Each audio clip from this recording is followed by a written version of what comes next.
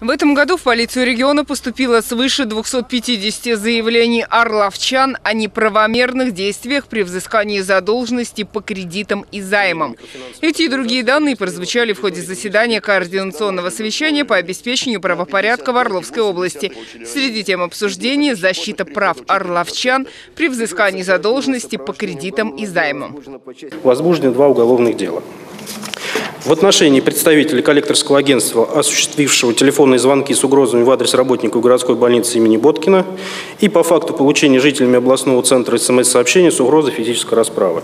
Представитель МВД напомнил, что возвращать просроченную задолженность 1 января 2017 года могут только юридические лица, внесенные в государственный реестр, при условии, что данный вид деятельности является для них основным. Также с нового года судебные приставы смогут привлекать коллекторов к административной ответственности за самовольную деятельность, сообщают федеральные СМИ.